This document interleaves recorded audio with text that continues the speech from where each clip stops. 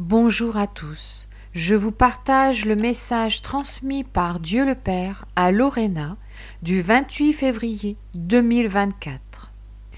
À partir du 4 mars, deux semaines d'intenses prières, appel urgent de Dieu le Père. Ma fille bien-aimée, ce message est très important et je veux qu'il atteigne les bouts du monde. C'est un ultimatum pour l'humanité, car le jour de ma juste colère arrivera et tombera sans recours sur la terre entière. Mais avant cela, j'enverrai ma dernière œuvre de miséricorde à chaque peuple, race et nation. Et je veux préparer mon peuple à cet événement de nation universelle. C'est le dernier message que j'envoie en tant que préparation l'illumination de la conscience. Je veux que vous, en tant que reste fidèle, êtes le soutien de tous vos frères et sœurs le jour de l'illumination des consciences. Par conséquent, vous vous préparerez à soutenir avec mes bras toute l'humanité, vous en tant que pilier de cette humanité et en tant qu'apôtre de la fin des temps. Vous soutiendrez avec mes bras d'amour tous vos autres frères. L'avertissement arrivera plus tôt que prévu, car je ne peux pas soutenir le péché, et je ne dois pas mettre en danger les âmes pieuses et bonnes qui se prosternent chaque jour devant ma présence pour me rendre gloire. Écoutez, reste fidèle, vous en tant que soutien de toute l'humanité, ferez ce qui suit.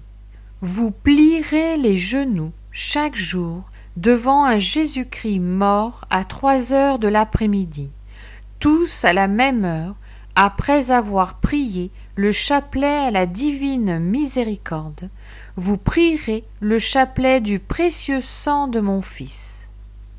Au cours des deux prochaines semaines, à partir du lundi 4 mars, ce seront deux semaines intenses, car vous, en tant que reste fidèle, soutiendrez toute l'humanité le jour de l'illumination des consciences.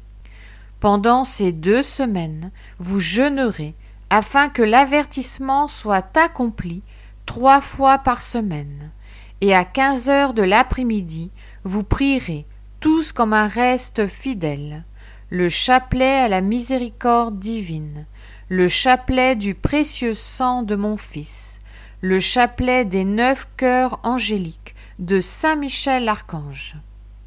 Le soir à vingt et une heures, ils prieront les vingt-quatre heures de la passion de Luisa Picaretta pour la conversion et le salut de tous les pécheurs. Le matin à huit heures du matin, ils offriront le rosaire afin que dans l'illumination des consciences, de nombreuses âmes soient sauvées et converties. L'illumination des consciences arrive déjà à l'humanité. Par conséquent, en tant que reste fidèle, vous devez faire les prières et être le soutien de tous vos frères et sœurs. Vous, ensemble avec mon Fils bien-aimé Jésus-Christ, soutiendrez par ces prières toute l'humanité dans ces moments terribles, où vous verrez vos consciences et âmes comme je les vois il est très important que les enfants participent aussi à ces prières. Ce sont deux semaines de préparation ardue pour que toute l'humanité puisse être soutenue dans ces terribles moments par lesquels elle passera. J'ai confiance en vous comme mon reste fidèle et le soutien de l'humanité. Ce message est très important et je veux qu'il atteigne toutes les extrémités du monde car vous êtes le soutien de tous vos frères, mes piliers, le soutien de tout le ciel. Unissez-vous aussi, fidèles restes de mon armée. Ces deux semaines seront décisives dans l'histoire de l'humanité, car de votre préparation en tant que fidèle reste dépendra des conversions et du salut des âmes. J'ai besoin de votre soutien en tant que fidèle reste. Cette heure est décisive dans l'histoire de l'humanité. J'ai besoin de vous comme mes guerriers. Les portes de l'enfer veulent emporter beaucoup d'âmes en enfer, et je ne le permettrai pas. Par conséquent, j'ai besoin de vous comme un reste fidèle. Je vous demande de plier les genoux et de vous couvrir d'un sac.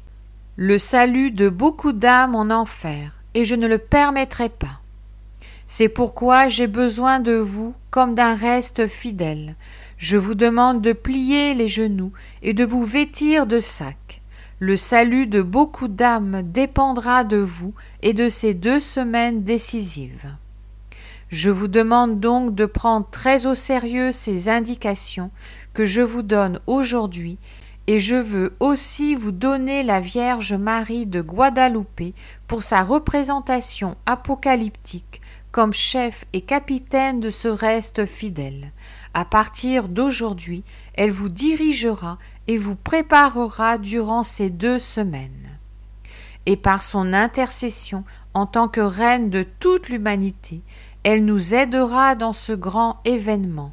Vous soutiendrez avec la Vierge Marie tous vos frères et sœurs le jour de l'illumination des consciences.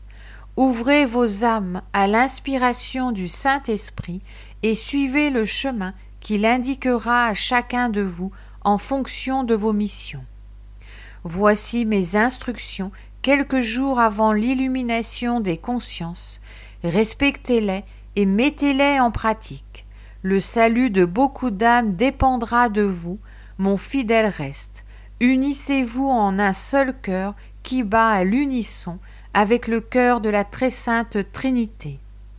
Je vous attends pour vous récompenser par de grands dons et de grandes grâces au jour de l'illumination des consciences. Moi, votre Père Yahvé. Maranatha, mon Fils vient bientôt. Explication donnée par Lorena. En recevant ce message, j'ai senti Dieu le Père avec un grand amour pour toute l'humanité. C'était doux, mais j'ai été attristé par le peu de réponses qu'il a de nous en tant que fidèles reste. Il était affligé et préoccupé pour ses enfants et nous demandait de vouloir être comme son fidèle reste, le soutien de nos autres frères, le jour de l'illumination des consciences. J'ai ressenti dans une certaine mesure un désespoir pour le peu de réponses qu'il a de nous. Je me suis senti très triste de ressentir le sentiment de Dieu le Père dans mon cœur. C'est pourquoi je vous demande, en tant que groupe de fidèles, d'accomplir la tâche qu'il nous confie en tant que Père aimant afin que grâce à nos prières, de nombreuses âmes puissent être sauvées et le jour de l'illumination des consciences. Il nous fait confiance en tant que reste fidèle, et nous ne devons pas décevoir la confiance qu'il a en nous. C'est pourquoi unissons-nous dans un seul cœur. Comme il le dit, battons à l'unisson avec le cœur de la très sainte Trinité, et faisons avec amour pour l'humanité ces prières qu'il nous demande de faire pour le salut et la conversion des âmes. Je voudrais aussi vous parler d'une vision qu'a eue un de mes amis qui a un cénacle.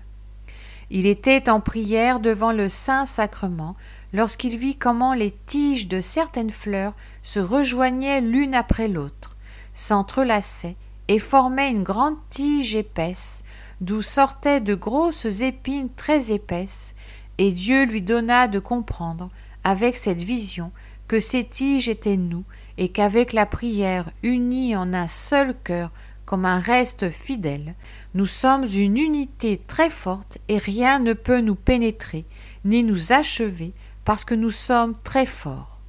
C'est pourquoi, en tant que reste fidèle, unissons-nous dans la prière, en priant en même temps les mêmes prières à la même heure pour former des tiges qui s'entrelacent les unes aux autres et qui forment une unité de tiges si forte que l'ennemi ne peut pas leur faire de mal.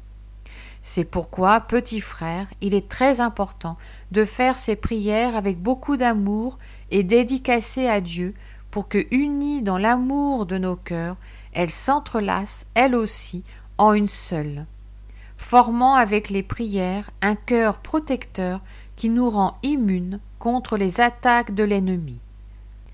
Comme nous nous unirons aussi au cœur de la très sainte Trinité, étant si fort que rien ni personne ne pourra nous vaincre.